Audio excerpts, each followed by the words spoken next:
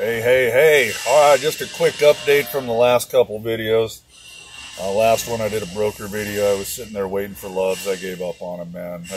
The one in Sioux City, uh, or no, Sioux Falls, South Dakota. What a joke, man. Sat there for three hours, uh, staring at empty bays. Um, bunch of freaking kids staring at their phone doing nothing. Tried to I called the manager of the uh, Loves, was very nice, uh, gave me the runaround. I finally gave up. I just gave up.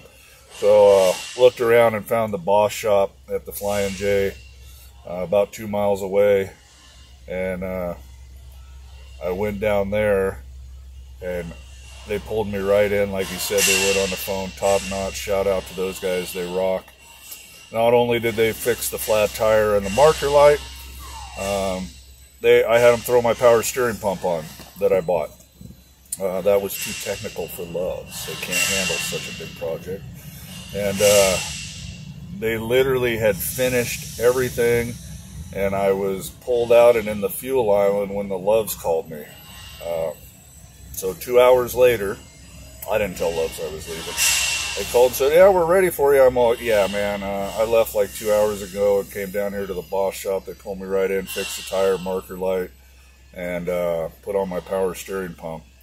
So uh, I don't need you anymore, and uh, I'll be leaving a, a nice review on the Love's website for you." They're all okay, no apology, no nothing. Typical. They don't care. Anyways, man, it's been a tough day. So uh, I finally gave up uh, on finding a load up there. One of our agents found me the best she could do for me for where I wanted to run uh, to get me back towards the house and get me in a better market, maybe to load something tomorrow to take home for the weekend. I actually came down to Kansas City. So I deadheaded 360 miles, 365 miles. I don't know if you can see, but I am loading right down here at uh, been here before. Hold on. Yeah, XL Tube in North Kansas City. And it's a, literally a 150 mile hop. Pays me $660. So by the time it's all said and done, I ain't to make much on this, but it'll cover all my fuel and then some to get me down here and deadhead home if I have to. Um, or get me so where I can load in St. Louis. Although it's going to be a long day because the time all that debacle was finished and I left uh, Sioux Falls, South Dakota, it was 2 o'clock, 2.30 I think, so I just dropped the hammer. I just got here at 8.15, so I made pretty good time getting down here, just set the cruise at 75 and rolled on down.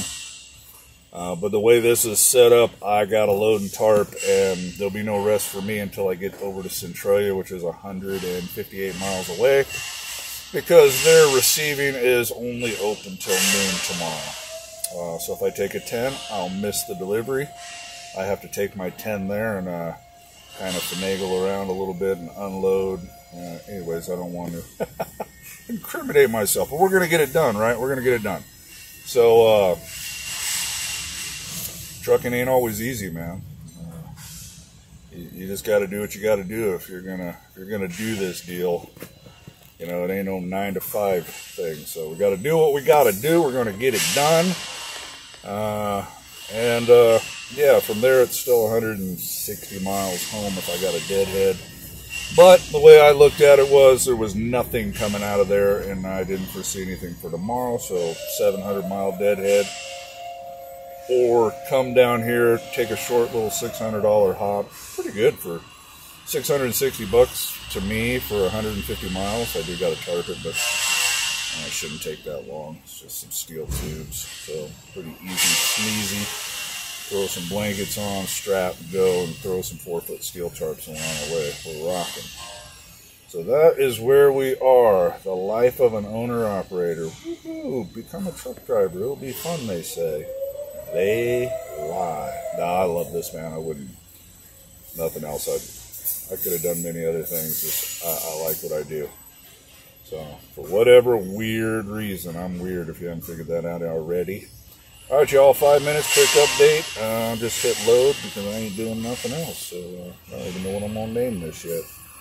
Guess I'll figure it out when I start typing. All right, y'all. God bless you. Bye now.